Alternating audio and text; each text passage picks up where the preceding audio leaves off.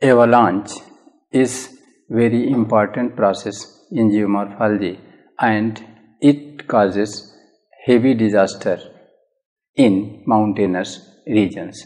Avalanche is also called snow slide. And what is the definition of avalanche? When major or minor piece of ice slides down from snow-capped mountains according to slope due to gravity. It is called ice slide or avalanche or snow slide. One question is where this avalanche will take place mostly. There are two areas where avalanche may take place. One along high latitude that is along Arctic and Antarctic circles and high latitude second is high altitude in low latitude areas that is high lofty mountain peaks which are snow capped so question is which one is most suitable for avalanche?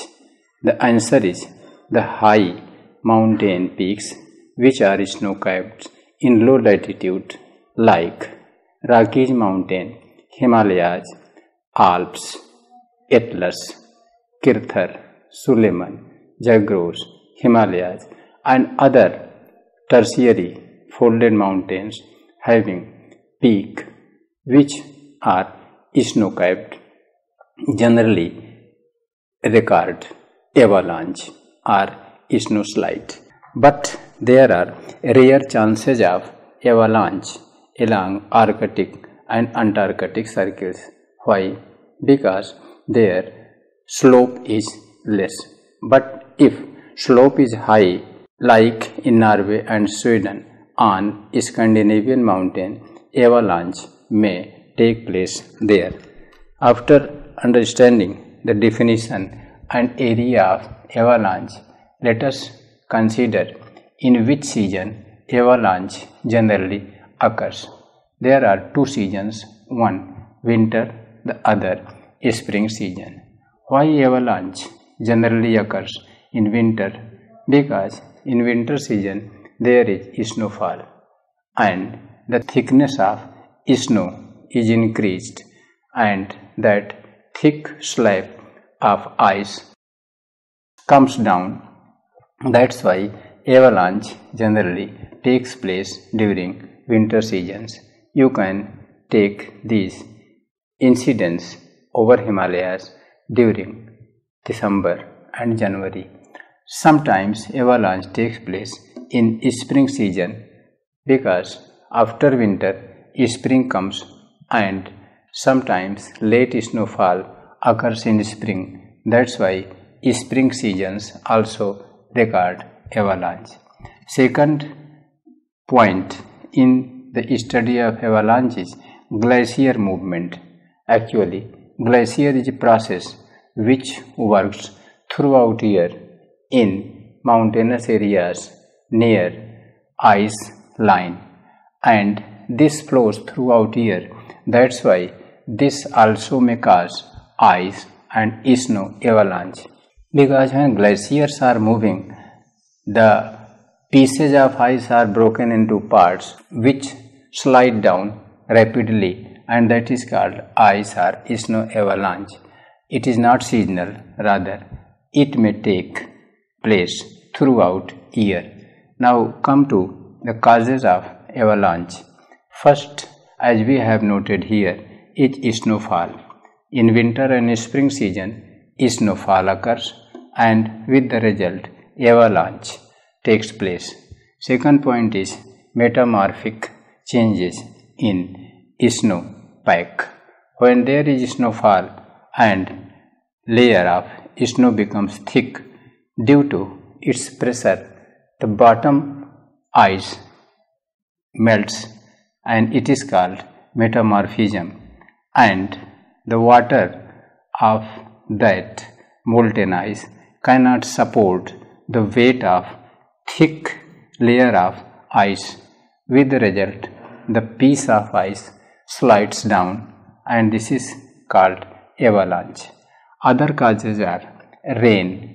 In mountainous areas, as you know, there is precipitation in solid state and that precipitation accumulates ice and snow which causes avalanche. Sometimes earthquake is also responsible for avalanche. As we know that in the mountainous regions which are of tertiary period and these mountains are folded mountains along the folded tertiary mountain belt there is seismic belt. In that seismic belt earthquake tremors occur frequently resulting into landslide as well as avalanche so earthquake may also be considered as one of the causes of avalanche. Next is rockfall. Due to earthquake, sometimes the hanging rocks or the rocks along steep escarps and slopes comes down and the ice deposited over that also comes down. That's why it is called rockfall avalanche and sometimes ice fall also takes place along with this rockfall. Now come to study the types of avalanche on the basis of their mode, speed. It is type which may also be termed formation. The first type of avalanche is slab avalanche. Slab means like your roof. It as roof of a building collapses in the same way, there is slab of ice deposited by the wind. As you know that in mountainous areas, in higher reaches of mountain, the wind is icy which brings or carries small ice crystals and deposits over the high regions segments of mountainous areas and when it comes down, it is called slab avalanche.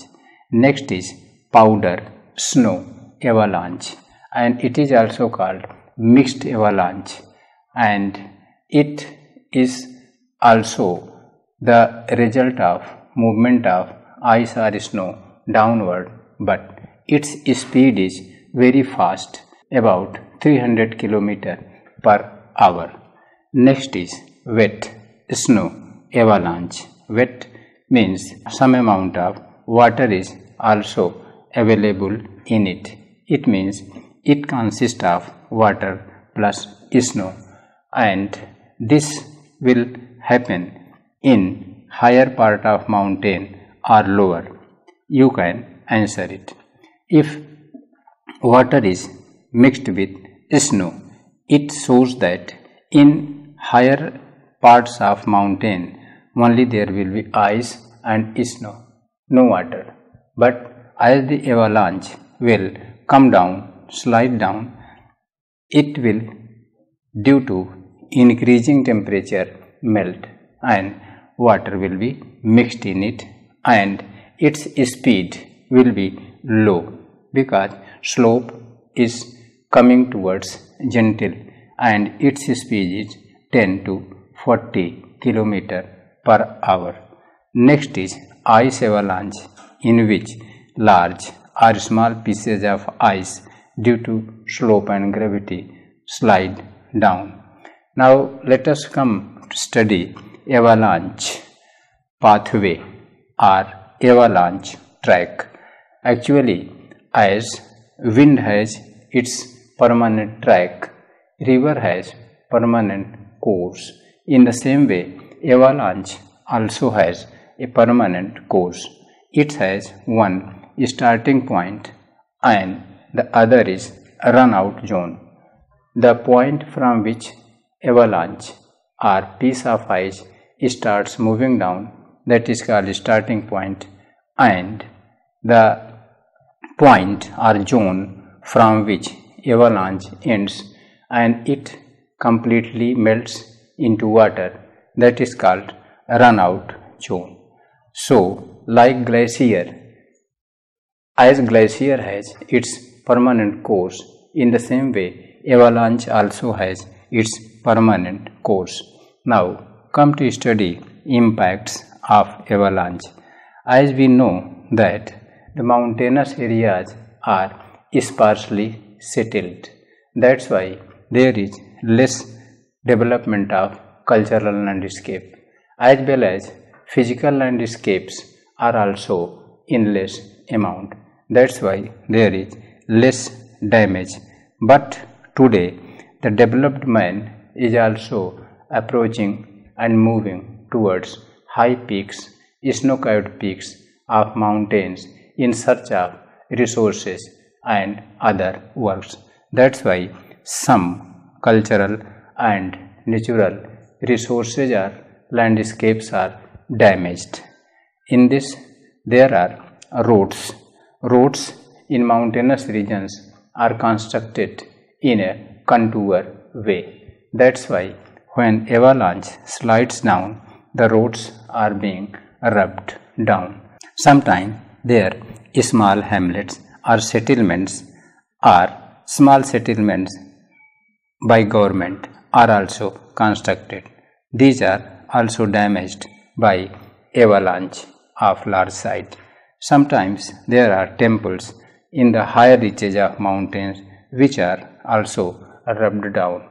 In mountainous areas there is soft wood vegetation which is generally coniferous nature and soft grasses like gulmarg, like marg in Jammu Kashmir, Bugyal, Payal in Uttarakhand. These grasslands are also damaged. So, these are the things which are damaged. Thus, humanity and nature suffers loss from avalanche. Now, come to study the preventive measures. Some measures have been adopted by the development to control the bad impact of avalanche. One is hand tossed charges. Sometimes, if we know in advance that this ice slab is to take the motion of avalanche, these are being thrown on that which breaks that ice piece into very small fragments and pieces and due to increased temperature it is melted and the bad impact of avalanche is being controlled.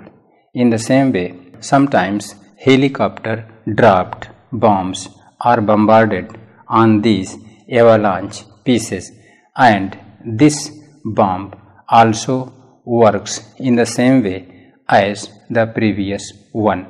These break the avalanching large pieces of ice and it is broken into pieces, it melts into water, thus we save ourselves from the bad impact of avalanche. Next is ballistic projectiles launched by air cannons and artillery. Sometimes in advance our defense department is prepared to launch ballistic projectiles by air cannons and artilleries, thus breaking the large pieces of avalanche sliding down into pieces and that avalanche melts into water and we save our physical and cultural landscape by the bad impact of avalanche. So, this is about avalanche in which we have to focus definition, season, causes of avalanche, types or formation of avalanche and the impacts or bad impacts of avalanche and the preventive measures of avalanche.